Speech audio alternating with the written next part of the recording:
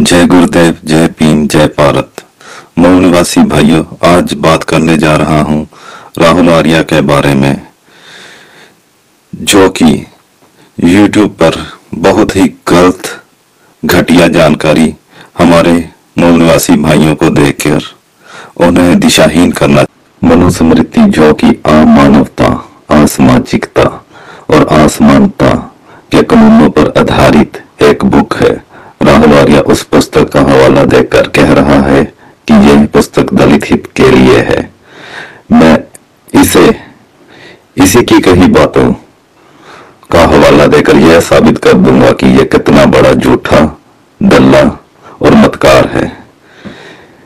ये कैसे हमारे मूल निवासी भाइयों को भटकाना चाहता है?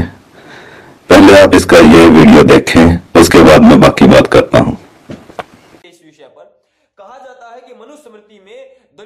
शोषितों के विरुद्ध, शूद्रों के विरुद्ध बहुत सारी गलत बातें लिखी हुई हैं। ब्राह्मणों को कोई दंड नहीं देना, दलितों को इतना दंड देना है कि जिसकी कोई हद नहीं हो, इतना शोषण कर देना, इस प्रकार की बात मनुस्मृति को लेकर कहा जाता है। इसको जलाया जाता है। कन्हैया कुमार ने पिछले दिनों में जलाया, उमर खालिद ने जलाया, और दलितों के नाम पर इस प्रकार राजनीति करने वालों ने जलाया।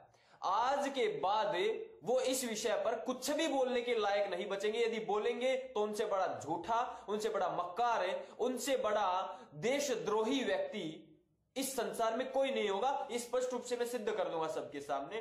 दोस्तों, मनुस्मृति से ही मैं आपके समक्ष कुछ चीज़ें लेकर के आता हूँ।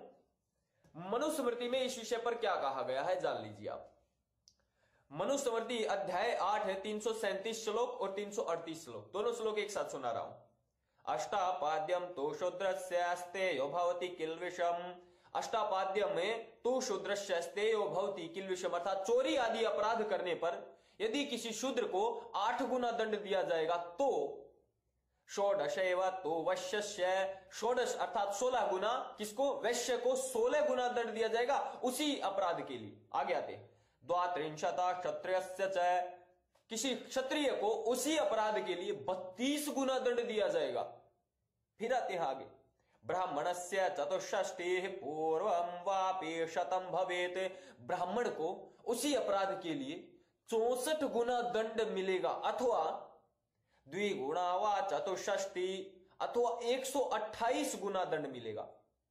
चौसठ अथवा 128 गुना, कहा आठ गुना किसी क्षुद्र को और किसी ब्राह्मण को 128 गुना तक दंड मिलेगा, उसी अपराध के लिए। क्यों? तद्यव गुण विद्धि साह महर्षि मनु कहते हैं, क्योंकि एक ब्राह्मण है धर्म और अधर्म के विषय में एक शूद्र, एक वैश्य और क्षत्रिय से बहुत ज़्यादा जानता। हाँ जी, आप सबने ये वीडियो देखा है, इसमें राहुल आर्या ने कहा कि ब्राह्मण को शूद्र से 128 गुना ज़्यादा सजा मिलेगी, क्योंकि ब्राह्मण को शूद्र से ज़्यादा ज्ञान होता है। मगर राहुल आर्या जी आपने ये तो बताया ही नहीं कि शूद्र को कम ज्ञान क्यों होता है, या शूद्र को ज्ञान होता ही नहीं। हमारी इस घटिया किताब ने वो बेसिक राइट शूद्र को दिया ही नहीं। पढ़ने लिखने का जो बेसिक राइट हर इंसान को होना चाहिए, वो इस किताब ने शूद्र को दिया ही नहीं। ये आपने क्यों नहीं बताया? और यह भी बताना था कि अगर कोई शूद्र पढ़ना चाहे तो उसकी सजा क्या है? उसकी सजा इस किताब में क्या लिखी है? यह क्यों नहीं बताया? तुम्हारी इस घटिया किताब में तुम्हारा घटिया बाप।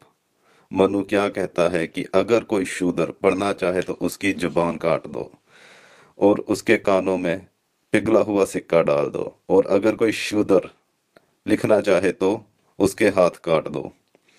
यह सब भी तुम्हारे नजायज बाप मनु ने इसी बुक में लिखा है। हाँ भाई ये क्यों नहीं बताया? ये भी बताना था ना फिर। बस उतनी बात बताई जितनी तुम्हारे काम की थी। बाकी बातें किसने बतानी थी? तुम्हारे बाप ने? मनु ने आके बतानी थी? राहुल आर्या तेरे जैसे कमीने मनु की गंदी औलाद तुम्हारे दिमाग में हमेशा ऊंच नीच ही चलता है। गंदगी गंदगी से भरा हुआ तुम्हारा दिमाग है। मैं अपने सारे मूल निवासी भाइयों को बेनती करता हूँ कि इस तरह के हराम खोरों से बच के रहो, इनसे दूर रहो। मूल निवासी भाइयों, मेरे इस वीडियो को ज़्यादा से ज़्यादा शेयर करना था जो ये राहुल आर्य तक पहुँच सके और इसे इसकी औकात पता चल सके। इसके गंदे मनु की औकात पता चल सके।